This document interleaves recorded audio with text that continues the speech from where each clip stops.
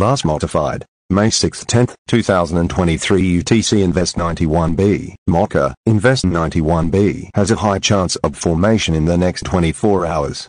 Infrared and microwave images show flaring convection cloud lines wrapping into a fully obscured, consolidating low-level circulation center, LLCC.